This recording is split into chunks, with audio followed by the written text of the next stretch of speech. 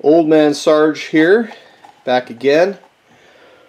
We're going to prepare for another game in uh, 2020.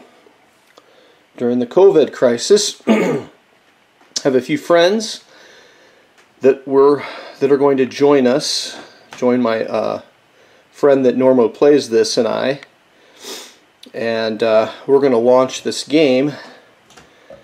Should be interesting. So, just to let you know the teams, I have one of my friends will be playing Great Britain. Another person that we know will be playing the United States. If not, then I will be playing the United States if that person cannot make it. And if that's the case, then my friend that's playing Britain will also play all the minors, including China and France. We have another player playing Germany and Italy green chits representing 10, red chits representing 5, just in case you're curious. Another person playing Japan.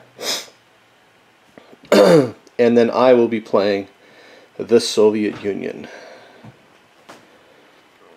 So, we are going to uh, change some rules around a little bit, make things more interesting. One of the things we're going to do is we're going to introduce from the anniversary edition the rule in regards to technology. And I got these chips from a, a company in Canada, and uh, they represent uh, a technological roll. So how this is going to work is Anniversary Edition, if you're familiar with it. You spend $5 per roll. Let's say you spent $10, you'd get two chits.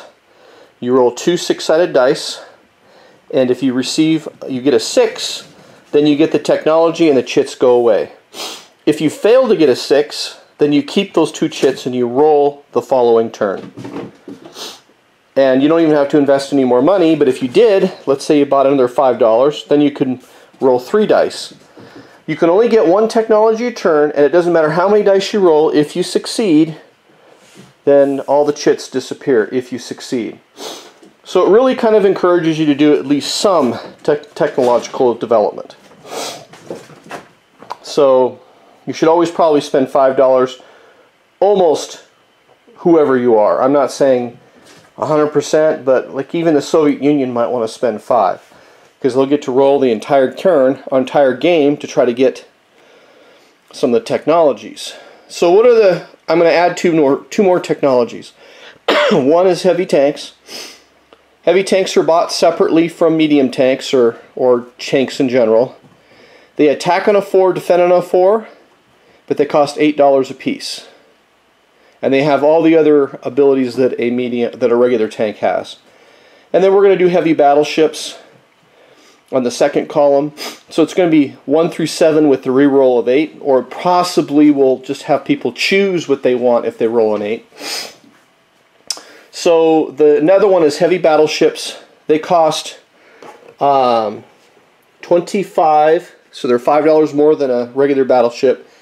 They have three, uh, they sustain three hits instead of two, and um, they attack on a 5 and defend on a 5. So those are the two additional rules that we're using. Everything else is going to remain the same. Jet fighters can be purchased separately. I don't even know if we're going to do that because fighters, when they become jet fighters, are they just go up in strength from a 3 to a 4, I believe. So I'm not sure. We'll have to look at that a little bit further before the game begins. So I'm gonna I'll be back and talk about my strategies. I didn't want to include that in this particular video because I don't want my opponents to know what I'm thinking, but I want you to know what I'm thinking before the game begins. Now just to let you know the players, the player that's playing Britain and possibly all the minors. If not, he'll be playing Britain, Italy, or pardon me, Britain, India, and Australia. He's played this game one, uh, one or two other times, so he knows to some degree how the game flows. The person playing Germany is a player that's never played with us before, but he claims that he has played a few games. And I've played other games with him, and he picks up games really well, uh, and he really cares about the strategy and and everything on those games. So we'll see how that turns out. Um, but I'll, I'll talk that about that more detail in the next video.